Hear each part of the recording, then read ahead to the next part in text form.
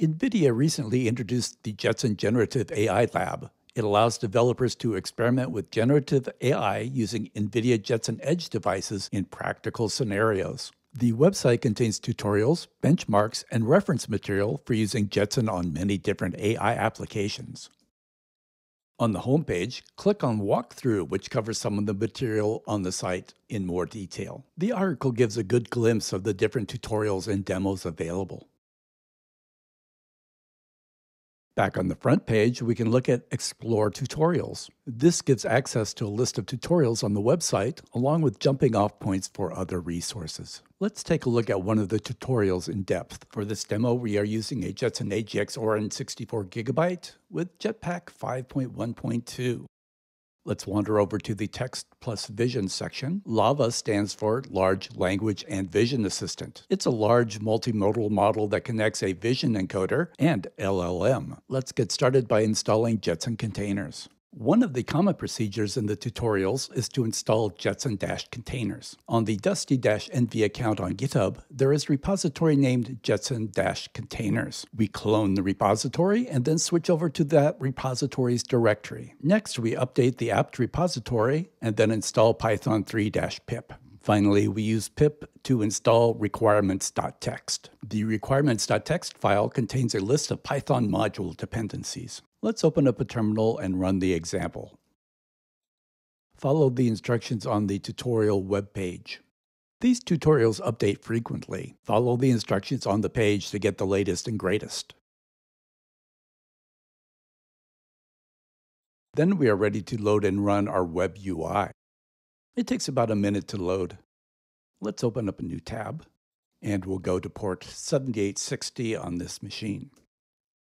One thing that is not mentioned in the tutorial is that you need to set the character before using the web UI. Select the parameter tab and then character. You can take a look at the example.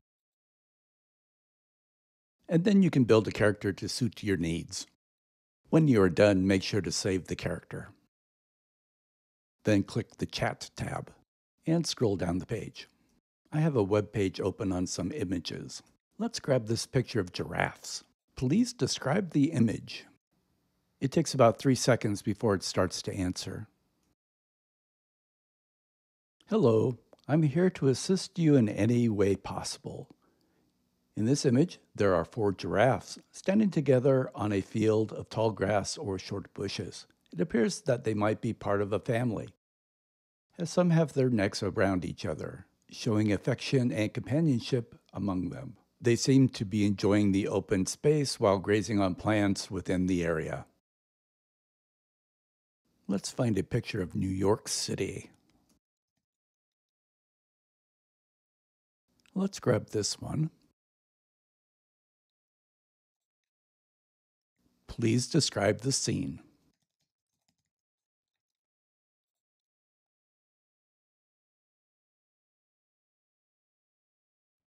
The image features four giraffes walking across a busy street at night.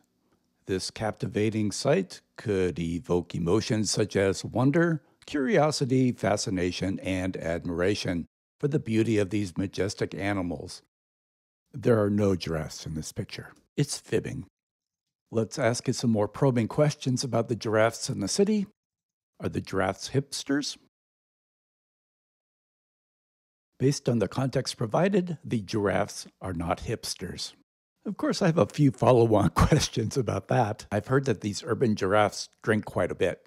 Do you think they were out after a party? Johnny AI replies Given that these giraffes appear to be walking across a busy street at nighttime, it seems plausible that they might have been attending a gathering or party earlier in the evening. I wanted to know if they could catch a bus uptown, and Johnny AI replies Although the image doesn't explicitly depict giraffes riding a bus, one can infer that since they are sharing the same streetscape, it is likely that the giraffes will be able to board the bus if given the opportunity.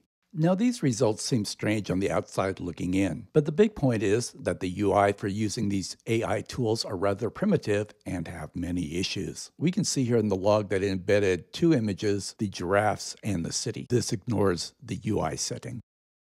This is to be somewhat expected, as the tools themselves are new and open source. Note that these aren't NVIDIA tools, but rather tools from out in the wild. If we start off with a clean context and only the one picture, we get a much more reasonable response. Let's take a look at another example from the Jetson Containers LLaVA area. Let's drag the image over. What does the road sign say? We get back an answer saying it's Hoover Dam, and we get some supporting information about Hoover Dam. How far away is the exit? It basically says, I don't know. According to the sign in the image, how far away is the exit? The sign indicates that the Hoover Dam exit is only two miles away. The sign says half a mile, but that's certainly a reasonable mistake. What is the environment like? It returns a description and even includes that it's part of the Mojave Desert. One more example. Here's the picture of the contents of a refrigerator. Describe the image. 45 seconds later, we get back a description of the contents of the refrigerator. We also get back some editorial content about the owner of the refrigerator. The refrigerator is owned by a chef, so it's surprisingly close. Do you see any avocados? Why, yes, there are, even though I misspelled avocados. Please construct a recipe using ingredients found in the refrigerator.